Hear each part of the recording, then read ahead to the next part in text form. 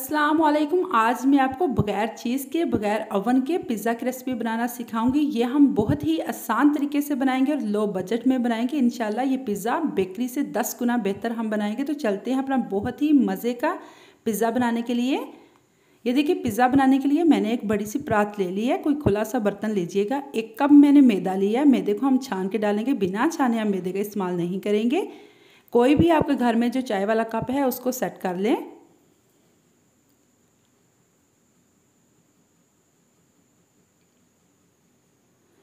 One table spoon इसके अंदर मैं पिसी हुई चीनी डालूँगी हाफ़ टी स्पून इसके अंदर नमक डालूँगी। ये ईस्ट है, ये बाज़ार से आसानी से आपको मिल जाएगी। एक टेबल स्पून भर के डालूँगी इसके अंदर। ये खमीर का काम करती है, मैदे को फुलाती है। दो से तीन टेबल स्पून कुकिंग ऑयल के डालूँगी। ये हम बगैर अंडे के डो रेडी करने वाले, इसमें कोई हम मिल्क पाउडर का इस्तेमाल नहीं करेंगे, ना ही अंडे का इस्तेमाल करेंगे। जो हमारे घर में चीज़ें हैं, उसी से हम ये पिज़्ज़ा आज रेडी करेंगे। अच्छी तरह हम हाथ के साथ सारी चीज़ों को मिक्स कर लेंगे। थोड़ा थोड़ा नीम गर्म पानी डालकर हम इसको गूँध लेंगे, इसकी डो बना लेंगे। ना हम ज़्यादा सख्त गूँधेंगे ना ही ज़्यादा सॉफ्ट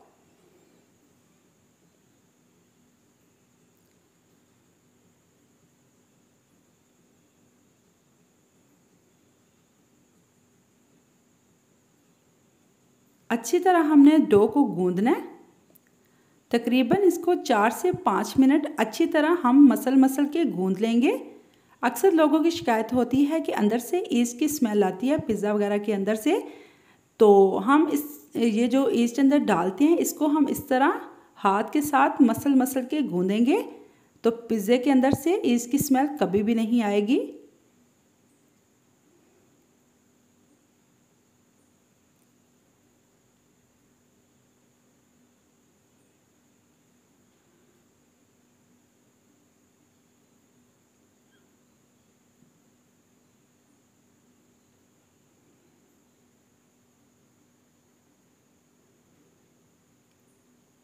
वन टेबल स्पून इसके अंदर कुकिंग ऑयल डालकर अच्छी तरह इसको गूंद लेंगे।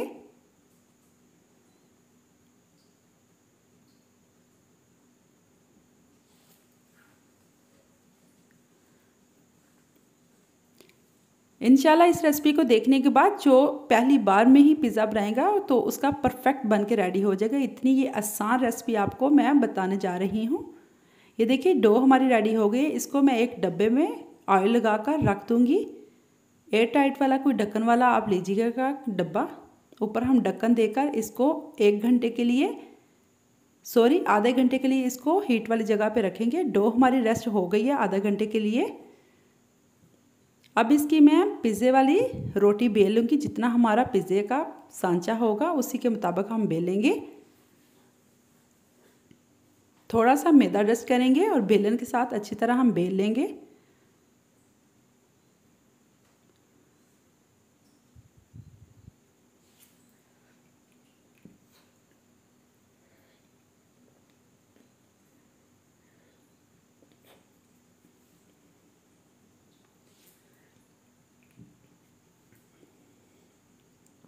ये मैंने एक पिज़्ज़ा पैन ले लिया, ये मीडियम साइज़ का है। इसके अंदर अपनी जो रोटी बेली है, वो डालेंगे हम और हाथ के साथ इसके किनारों के सेट कर लेंगे।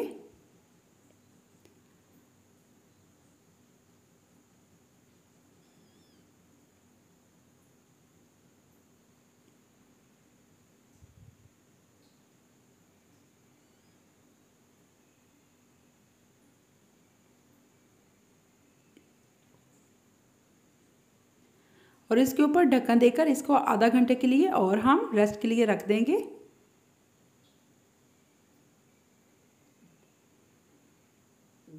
जितनी देर में हमारी डो रेस्ट के लिए पड़ी है, इसकी हम चिकन की स्टफिंग तैयार कर लेते हैं। जिसके लिए मैंने एक फ्राई पैन लिया इसके अंदर एक से दो टेबल स्पून कुकिंग ऑयल के डालूँगी। ऑयल हमारा गर्म हो गया, ये लहसुन, अदरक का पेस्ट है वन टेबल स्पून ये इसके अंदर डालकर इसको हल्का सा हम ब्राउन कर लेंगे।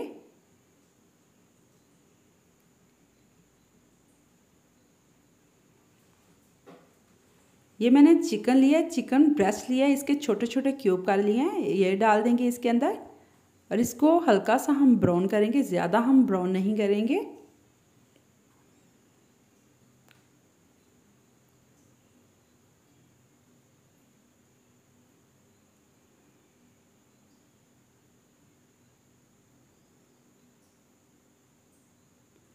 इसके अंदर हाफ़ टी स्पून जितना सिरका डालेंगे, सिरके से हमारा चिकन बहुत ही सॉफ्ट हो जाएगा। हाफ़ टी स्पून इसके अंदर चिली फ्लेक्स डालूँगी। क्वार्टर टी स्पून इसके अंदर तिक्का मसाला डालूँगी। क्वार्टर टी स्पून इसके अंदर सुरख मिर्च डालेंगे। क्वार्टर टी स्पून हल्दी जाएगी। क्वार्टर टी स्पून ही इसके अंदर नमक जाएगा। इसको और भी सुपर टेस्टी करने के लिए, चटपटा सा करने के लिए मैं इसके अंदर हाफ़ लीमू का रस डालूँगी। वन टेबल स्पून जितना इसके अंदर लीमू का रस डाल लें, अच्छी तरह भून लें। ये देखें जी, चिकन हमारा रेडी हो गया। ये देखिए माशाल्लाह कितना सॉफ्ट हो गया। अगर आपके पास सिरका नहीं तो आप एक चम्मच भरकर दही डाल सकते हैं। उससे भी चिकन बहुत ही सॉफ्ट होगा हमारा। ये देखिए जी, माशाल्लाह कितना ये फूल गया।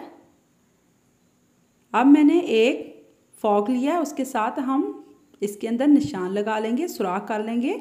अगर हम सुराख नहीं करेंगे तो जब हमारा पिज़्ज़ा बेक होगा तो अंदर से ऐसे फूला होगा, वो ज़रा भी अच्छा नहीं लगेगा।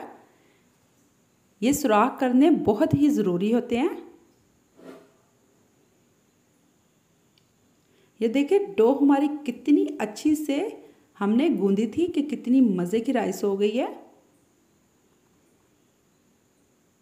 सारे सुराख मैंने कर लिया अब बारी आती है पिज़्ज़ा सॉस की। तो पिज़्ज़ा सॉस हम इसमें इस्तेमाल नहीं करेंगे, क्योंकि हम घर की चीज़ों से ही बनाने वाले हैं यह पिज़्ज़ा। इसके लिए मैं टमाटो केचप लूँगी।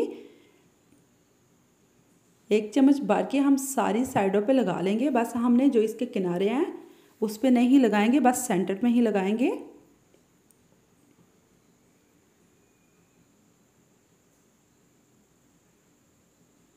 यकीन माने ये इतनी आसान तरीके से मैं आपको रेसिपी बनाना सिखाऊँगी कि आप जब बनाएँगे तो आपको खुद को यकीन नहीं होगा कि हमने इतनी झटपट पिज़्ज़ा की रेसिपी बना के रेडी कर ली है। ये देखें, जो चिकन मैंने बना के रखा हुआ था, वो इसके ऊपर डालेंगे। अच्छी तरह हम स्टफ़ करेंगे।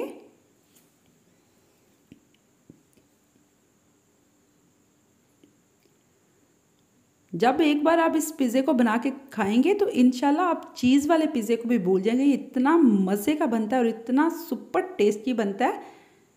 अब बारी आई चीज़ की तो चीज़ हमारे पास नहीं, ना ही हमने चीज़ का इस्तेमाल करना है तो उसके लिए मैं ये अंडे लूँगी, तीन अदद अंडे लूँगी।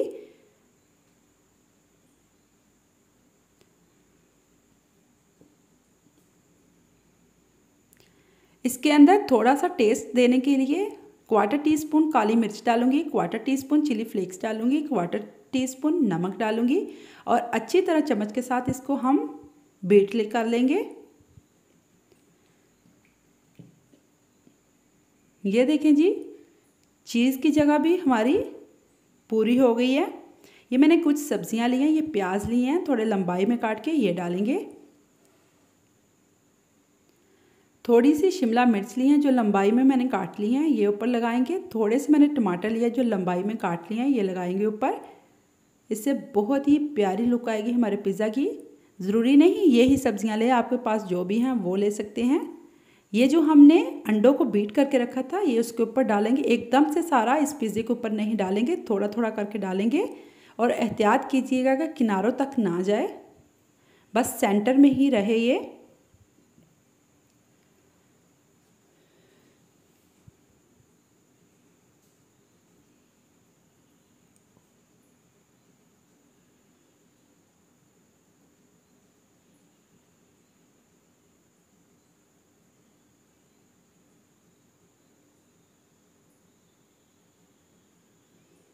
के ऊपर थोड़ी सब्ज़ियाँ और डाल देंगे।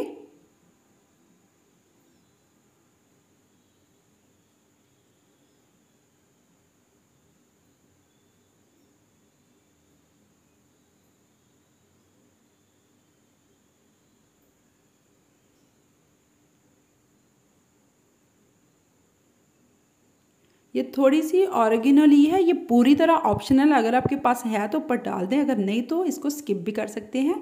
थोड़े से चिली फ्लेक्स ऊपर डालूँगी मैं, इससे बहुत ही मज़े का टेस्ट आएगा हमारे पिज़्ज़ा का। तो हमारा पिज़्ज़ा रेडी है बेकिंग के लिए तो चलते हैं इसको बेक करने के लिए। ये देखें बेक हम बगैर ओवन के करेंगे कढ़ाई में। तो कढ़ाई को पहले मैंने 10 मिनट के लिए प्री हीट कर लिया था, नीचे ढक्कन रख लें, कोई स्टैंड रख लें, वो रखना ज़रूरी है डायरेक्ट हम नहीं कढ़ाई के अंदर रखेंगे। अपनी पिज़्ज़े को इसके अंदर रखें और ढक्कन देकर इसको 15 से 20 मिनट मीडियम लो फ्लेम पे पका लेंगे। ये देखें जी, मैंने 20 मिनट अपने पिज़्ज़े को मीडियम लो फ्लेम पे पका लिया। कितना प्यारा और कितना मज़े का इसका, ये देखिए, लुक लगा, कितनी अच्छी इसकी लुक आई है। और कितना गोल्डन सा ऊपर से कलर हो गया है। पिज़्ज़ा हमारा परफेक्ट तरीके से बन के रेडी हो गया है। देखिए, माशाल्लाह, लग ही नहीं रहा कि हमने बिना चीज़ के ये पिज़्ज़ा बना के रेडी किया है। ये देखिए ऐसे ही लग रहा है जैसे हमने कितनी ज़्यादा इसके ऊपर चीज़ लगाई हुई है। इस रेसिपी को ज़रूर ट्राई कीजिएगा। इंशाल्लाह आपकी फैमिली को, आपके बच्चों को बेहद ये पिज़्ज़ा पसंद आएगा। वो रोज़ इसकी फरमाइश करेंगे। इसी तरह का पिज़्ज़ा बनाने के लिए।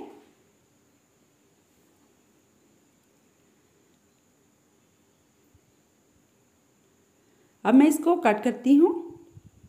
छुरी के साथ हम कट कर लेंगे। अब अगर आपके पास पिज़्ज़ा कट रहा है तो उससे काट लें।